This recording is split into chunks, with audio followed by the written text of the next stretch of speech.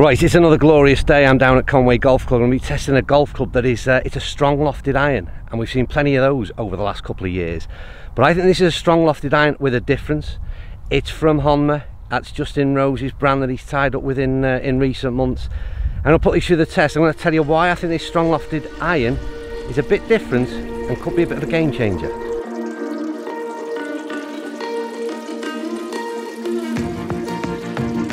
Yeah, I am back down at Conway Golf Club and this is absolutely what a great day to be filming and testing these TW747 irons from Honma.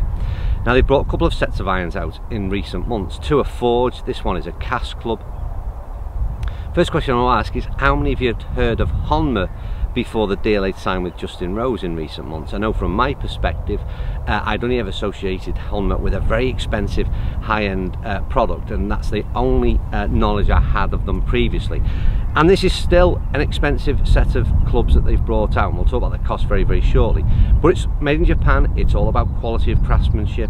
Uh, they really are suggesting they've built a top-end product here. And the price point, although very expensive, is lower than what they've put out there before. Let's talk about the price uh, 969 for six irons is a kind of general market price that I'm finding for these. So it's that's 160 pound for uh, per iron. So it's still very much top end it's still very much expensive and what I want to find out today is what do you get for your money? Is that quality of craftsmanship going to make you a better golfer? Is that 160 pound going to help you score better? When you're out there on the course when you're using these TW747 irons there's only one way to find that out. Get this camera moved, get it in some golf balls, and let me give you my opinion on these Honma irons.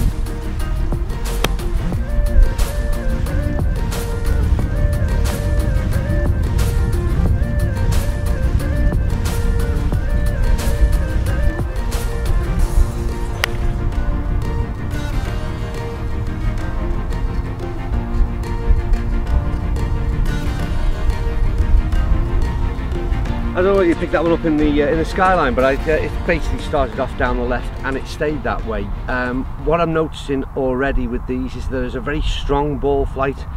Um, relative to loft again, don't forget these are stronger lofted as we're going to keep saying throughout the video, but uh, it's a very strong ball flight and for something like that playing a 5 iron off this tee, um, I think we're into a slight headwind, only a slight headwind, but again that's not affected at all.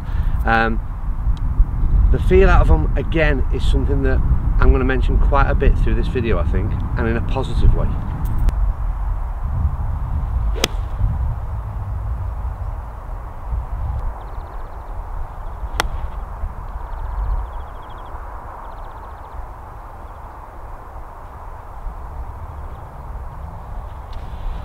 Interesting shot for me and, and the interesting thing full stop about uh, these so-called strong lofted game improvement irons uh, so I played the uh, number 10 which is effectively a pitching wedge.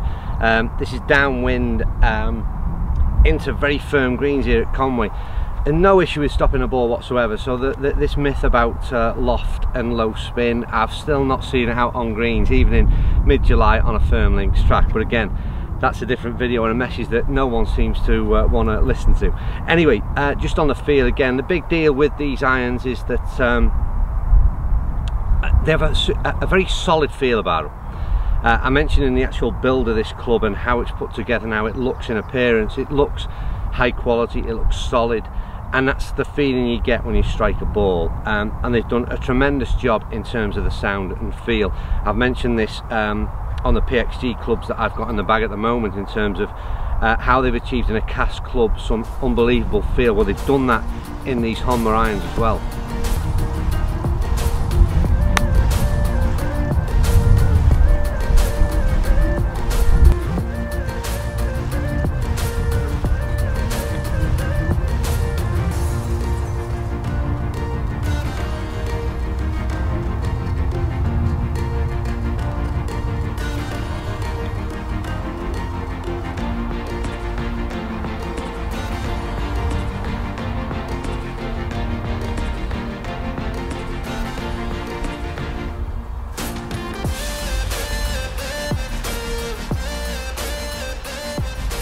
with the uh, sort of long wedge shots and the iron shots so far and uh, a bit of short gain there and uh, on each of those three shots once again plenty of feedback from club head into hands if that's the kind of thing that you like if you if you uh, if you've got a thing about feel which I know certainly I have these are very responsive. You certainly get plenty of feedback uh, back into those hands. It's got um, perhaps I'll play some more shots. There's a slight spring in the face. It does seem as though it's sort of firing out there so that might be something that you'd uh, you'd get used to. Um, and like I said I'll play a few more shots before I confirm that.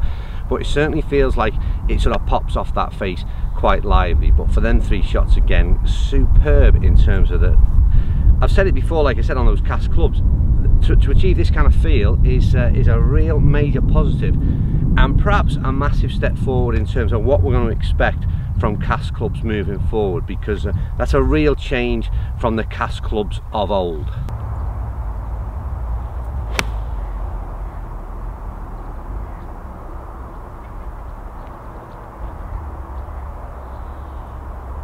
I'm just looking at yardage there, it uh, leaked out slightly left to right, uh, but this yardage is playing 175 and again I think that'll go pin high, this pin is right on her back tier and what a great par 3 it is. Uh, but this is a 7 iron, 28 and a half degrees loft and that's always your barometer for where these go, so yes they're strong lofted, but again the big thing I talk about in every video is is loft relative to ball flight and I don't think it is because again, or launch at least, because if you've seen the ball flight on that, it's the loft may be the loft of a 5 iron in traditional terms, but that's not the ball flight of a traditional 5 iron. And that's the major difference for me. So they've got plenty of tungsten weighting in the bottom uh, of these irons, which again will help um, with forgiveness. It'll help um, that CG location and give us the assistance, the forgiveness, all the positive things that we need. But then it's counterbalanced by the stronger loft, which otherwise I think this ball would be literally going up into orbit. So the loft issue again, for those of you who are critical of the stronger lofted um, and moving away from tradition, I think in a lot of instances, and this in particular again, it just counterbalances what's packed in uh, in terms of that tungsten weighting or whatever, whatever system a club manufacturer might use uh, to make the game or the club a little bit easier to use in terms of forgiveness and launch. But again, 175 carry, good ball flight, good descent angle, that ball is stopping, it isn't going anywhere in terms of landing on greens.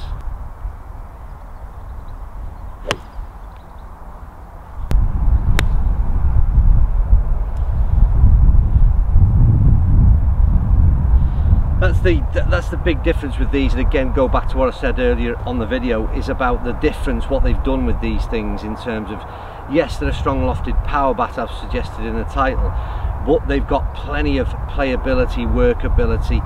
I managed to just uh, punch that one a little bit low and you can do all of that. This is without doubt a player's club with a lot packed into it in terms of health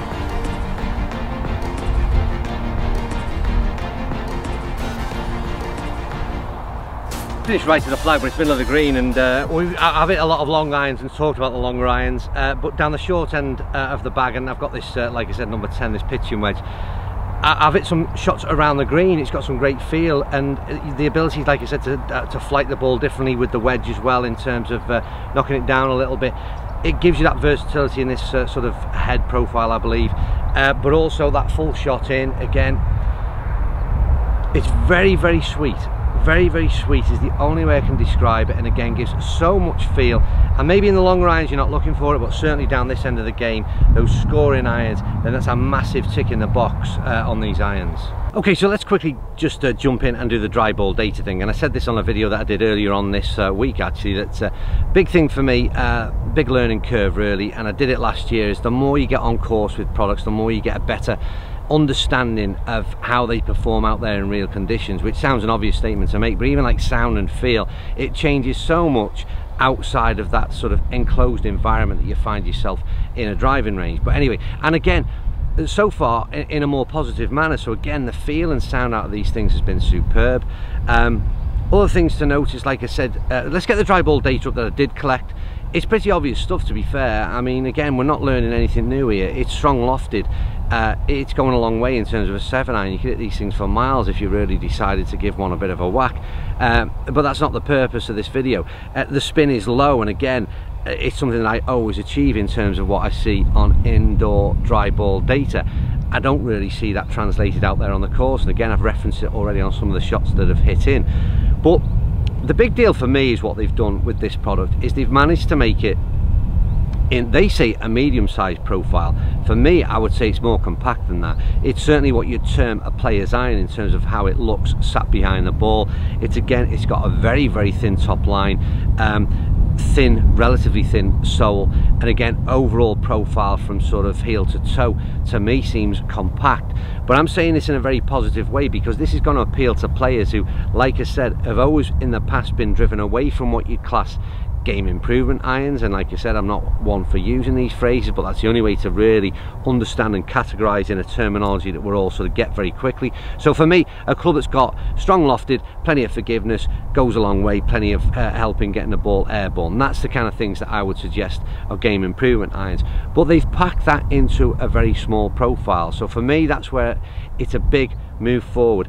In a way it's similar to what um, I've seen in just a couple of irons so far this year and I think it's going to be a trend moving forward. I think you'll see the sort of game improvement characteristics packed into smaller profiles like this and they've done it in an extremely good way. Again looks is a personal thing. I'll, I like it. I'd prefer if they didn't have the black insert in the back and it was an all chrome finish. If I'm being perfectly honest there's this sort of slight carbon imprint in it I think it slightly cheapens it if anything because the rest of the club the finish on it is absolutely superb. It's a tough one to knock and it's it's difficult to knock product right now as we have done for the last 18 months. Most stuff that gets brought to market is good in one way or another and they're aimed at certain golfers and, and one club will appeal to another and vice versa. But in this like I said I think what they've done and why it's so different why it's such an interesting product is without repeating myself is this ability to have packed in what they've done into a small profile. It's an extremely playable iron. It's a player's iron still. It's going to appeal to a big cross section of people. The big one is the price.